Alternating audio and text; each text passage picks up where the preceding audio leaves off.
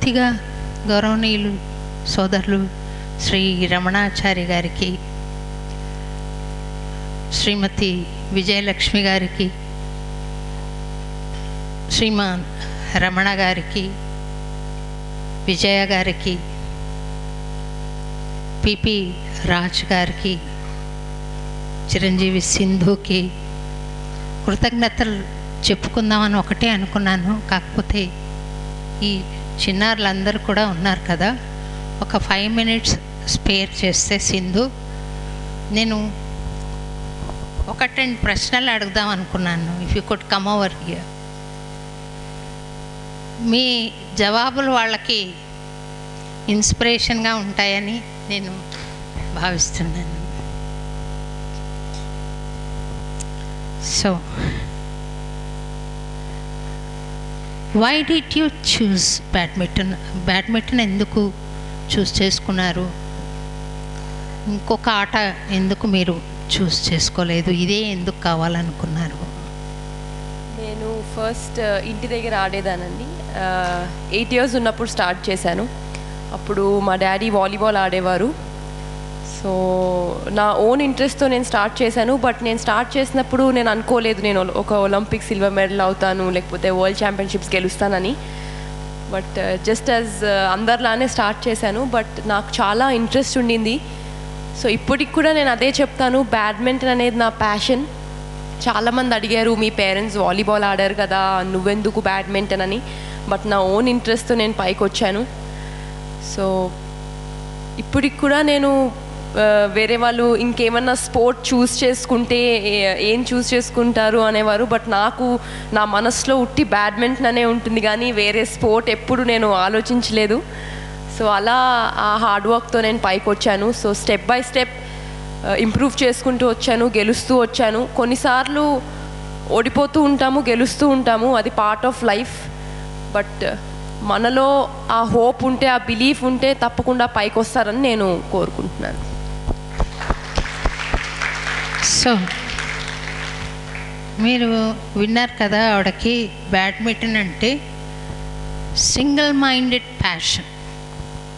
ఇంకా పక్కద పక్క చూపులు లేవు. ఆ ఆట బాగుంటుందా ఏట బాగుంటుందా కదా బ్యాడ్మింటన్ ఒక్కటే నాకు ప్రాణం అన్నట్టుగా కృషి చేసింది సింధు అని అర్థమవుతుంది. అంటే డూయింగ్ విత్ ప్యాషన్. చాలా ఇష్టం చాలా ఇంకా దానికన్నా మించిన ఇష్టం లేదు వేరేది అనేది అర్థమవుతుంది కదా.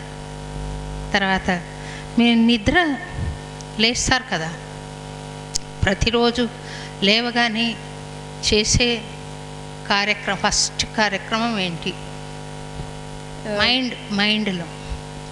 లేచిన వెంటనే నేను దేవుని తలుచుకుంటానండి. ఎందుకంటే ఆయన వల్లే ఆయన ఆశీస్సుల వల్లే మనం ఇక ఇవాళ ఇక్కడ ఉన్నాము. అండ్ ఏమైనా కానీ మనం గెలిచినా కానీ ఓడిపోయినా కానీ దానికి ఎవ్రీథింగ్ హ్యాస్ అ రీజన్ అంటారు. ఇప్పుడు కాకపోతే next time but try and try until you succeed అన్నది ఒక కోట్ ఉంది. సో అలాగే నేను కూడా ఎన్నిసార్లు కింద పడినా ప్రతిసారి ఏదో ఏదో ఒకటి నేర్చుకుంటూ పైకి వచ్చాను సో ఇవాళ ఇక్కడ ఉన్నానంటే మా తల్లిదండ్రుల సపోర్ట్ కూడా నేను చెప్తున్నాను. ఎందుకంటే వాళ్ళు నా కోసం చాలా సాక్రిఫైజెస్ చేశారు.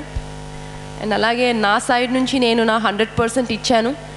అండ్ uh, వాళ్ళ సపోర్ట్ వాళ్ళ సాక్రిఫైస్ ఉంది కాబట్టి నేను ఇవాళ ఇక్కడ మీ అందరి ముందు ఉన్నాను.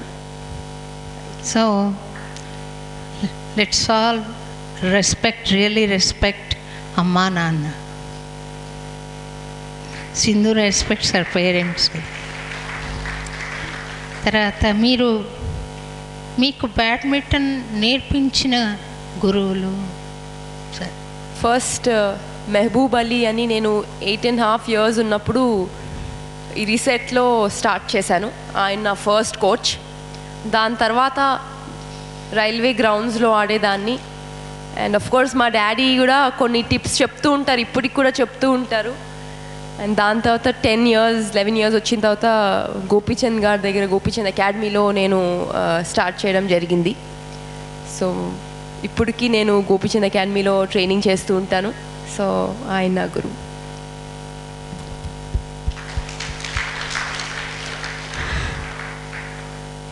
మీరు ఫస్ట్ టైం టోర్నమెంట్ ఆడినప్పుడు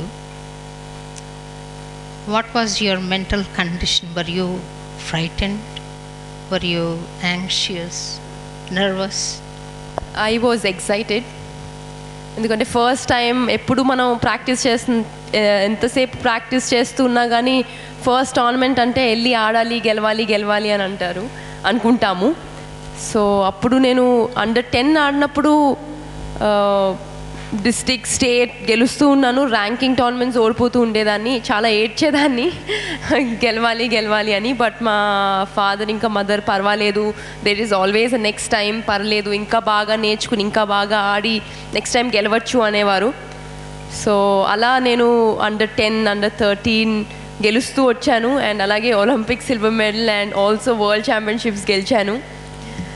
సో గెలిచినప్పుడు చాలా ఆనందంగా ఉంటుంది. చాలామంది చాలా ప్రేస్ చేస్తారు. అలాగే ఓడిపోయినప్పుడు చాలామంది అరే ఏమైంది? మీకు ఓడిపోయారు అంటూ ఉంటారు. బట్ అవేమీ పట్టించుకోకుండా జస్ట్ ఫోకస్ చేస్తూ ఓడిపోయినప్పుడల్లా పర్వాలేదు it's okay there is always next time ఇంతటితో అయిపోలేదు అని అనుకుంటాను. I think up for myself and I I always have that hope and believe in me so I keep trying myself యూజువల్గా ఇట్లా వేదిక మీదకి వచ్చేటప్పుడు మ్యూజిషియన్స్కి వేదిక మీదకి వచ్చేటప్పుడు డాన్సర్స్కి కానీ ఆ మొత్తం స్టేడియంలో అన్ని లక్షల మంది చూస్తూ ఉంటే వితౌట్ ఫంక్ అవ్వకుండా చాలా స్టడీగా బాల్ మీదే కాన్సన్ట్రేట్ చేసి ప్లే చేయాలి కదా. భయం వస్తే it reflects on playing also అది రాకుండా ఉండడానికి మీరు ఏం చేశారు? నేను మెడిటేషన్ చేస్తానండి.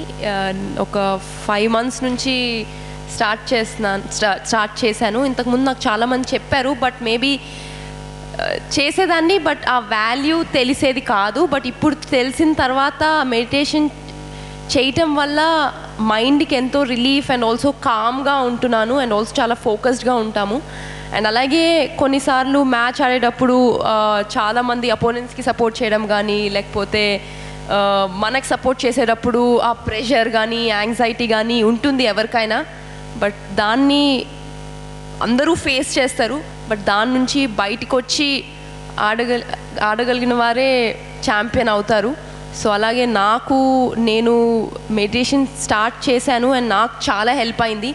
సో నేను అందరికీ చెప్పాల్సింది ఏంటంటే అందరూ మె- కాసేపు అయినా రోజు మెడిటేషన్ చేస్తే తప్పకుండా మీ లైఫ్లో చాలా చేంజెస్ వస్తాయి అని నేను ఆశిస్తున్నాను. మీరు లైఫ్లో మర్చిపోలేని ఒక సంఘటన through which you learn something can you share with us? Yeah my parents uh, ఎప్పుడు చెప్తూ ఉంటారు ఎంత గెలిచినా ఎంత టాప్ ఆఫ్ ద వరల్డ్ ఉన్నా ఎప్పుడు అణిగి మణిగి ఉండాలని. ఐ థింక్ uh, అది ఈజ్ వెరీ ఇంపార్టెంట్ ఎందుకంటే మనము ఈ స్థాయి నుంచి వచ్చాము. ఎంత పైకి వెళ్ళినా కానీ we have to be grounded అని is what I have learned in my life wonderful Sindhu ఈ this particular character will take you thank you greater thank you తర్వాత లాస్ట్ క్వశ్చన్ వెంకటేశ్వర స్వామి ప్రత్యక్షమయ్యారు మీకు ఎదురుగా. నీది ఒక్క కోరిక తీరుస్తాను కోరుకో అన్నాను వాట్ విల్ యూ ఆస్క్ ఫస్ట్గా ఆయన ఎంతో ఇచ్చారండి మనందరికీ. ఆయన ఎంతో మనందరికీ మనం ఎప్పుడూ ప్రే చేస్తూ ఉంటాము. ఆయన ఆశీస్సులు ఎప్పుడూ ఉండాలని ఆయన నా ముందు వచ్చి అడిగితే నేను అందరూ బాగుండాలి. అందరికీ మంచి జరగాలని నేను కోరుకుంటాను.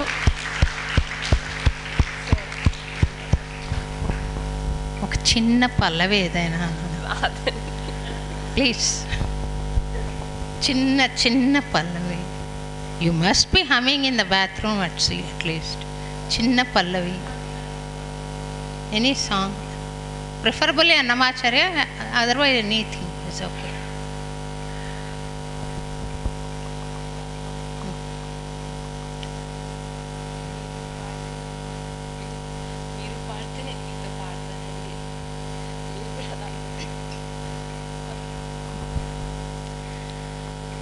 Brahmamokkate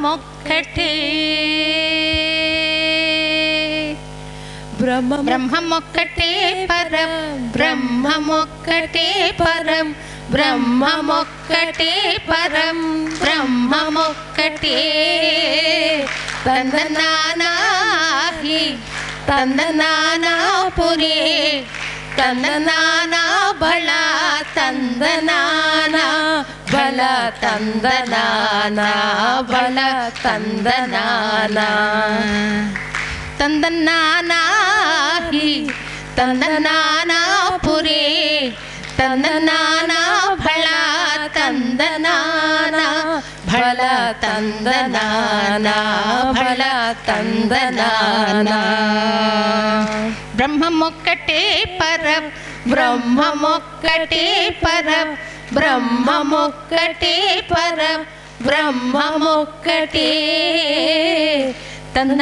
తందనానాహి తందనానాపురే తందనానా భళ తందనానా భళ తందనానా భళ తందనానా భళ తందనానా భళ తందనానా భళ